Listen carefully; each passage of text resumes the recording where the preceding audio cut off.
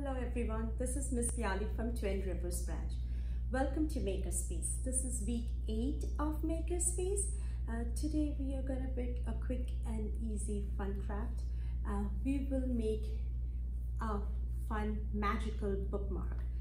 We will make these unicorn bookmarks with a yarn tassel and it will be like this. So let's get started.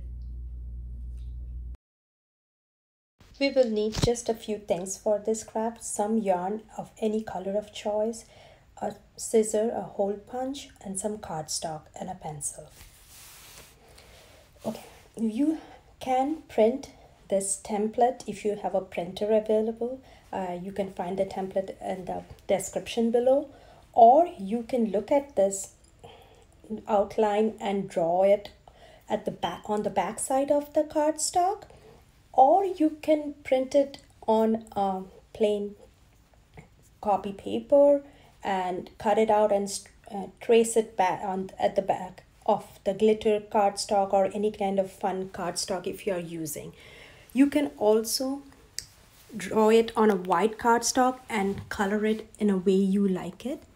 It's a very easy outline drawing so you can look at it. Like if you are watching this video on a tablet or a phone just freeze the screen for a while and look at it and try to um, make the same shape.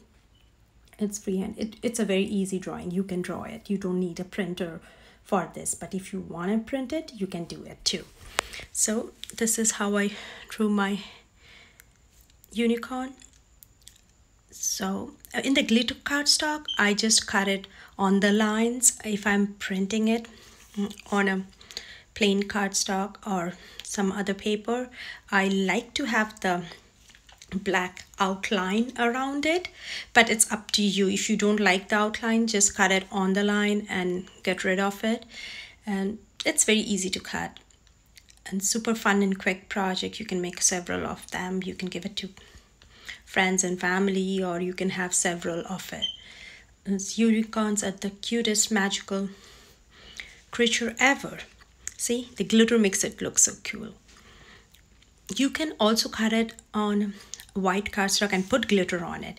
I'm just punching a hole the back to attach the tail for the tail i'm just using a box of crayon like a pencil box you can use a cardstock or your hand or just we need something uh, to wrap the yarn around like a rectangular thing just I like to take all the three strands of yarn together, three, four, whatever colors I'm using together and wrap it. That's how it mixes well.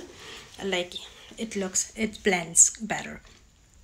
So wrap it for a little while, like not too many times, just a few times. And then take a small piece of yarn and hold it and tie it. This will help us attach this tassel to the unicorn body.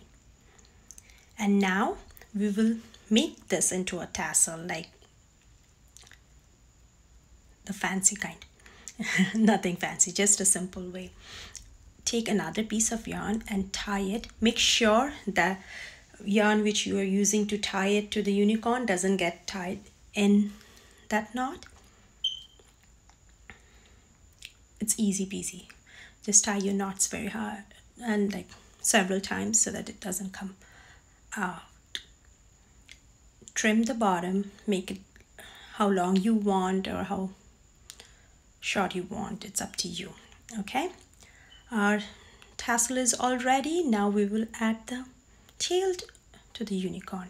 Just I like to thread the yarn from the front of the unicorn body so that I can tie it at the back and I can hide my knot at the back of the body. I like to lay it down on the table. It, has I just find it very helpful. That way I can tie like very tight knot and it will be flat and nice cut the excess yarn and your bookmark is all ready. It was easy and quick. So here are my several of bookmarks. It's very hard to stop at one. Once you start making it, you would like to make it all. uh, all the colors of the rainbow so you can if you don't want the unicorn body to show you can just put it like that. And I like when the unicorn head um, peeks out of my book and the tassel is there. It's super fun and cute. If you want you can draw make designs put names of the thing. So here are my unicorns hope you like this craft and you will give this unicorn bookmark a try. Uh, you can find the template um, printable in the description below. Uh, thanks for stopping by. I will see you next week with a new fun new craft. Until then enjoy summer